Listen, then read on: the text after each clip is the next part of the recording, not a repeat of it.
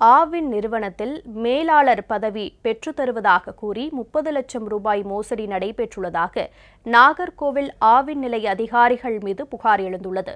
இங்கு இளநிலை செயலாளராக பணியாற்றி வந்த ஐயப்பன் சரஸ்வதி சகாயம் பழனி ஆகிய நான்கு பேரும் புதுக்கோட்டை மாவட்ட ஆவின் நிறுவனத்தில் தனது மகனுக்கு மேலாளர் பணியை வாங்கித் தருவதாக கூறி முப்பது லட்சம் ரூபாய் மோசடி செய்ததாக கன்னியாகுமரி மாவட்ட காவல் கண்காணிப்பாளர் அலுவலகத்தில் ரங்கசாமி என்பவர் புகார் மனு அளித்துள்ளார்.